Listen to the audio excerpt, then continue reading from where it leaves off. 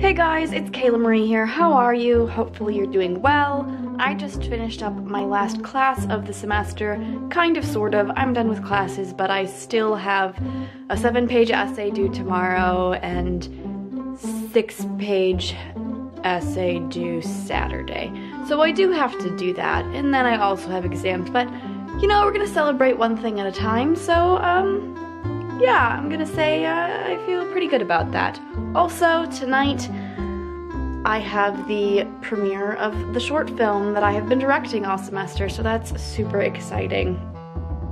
I have a lot to get done before that with all of that essay stuff and exam studying, but it's gonna be a fun night.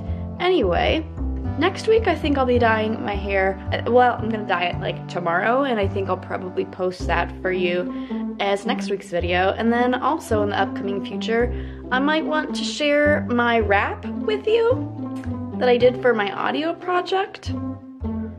Maybe, just a thought.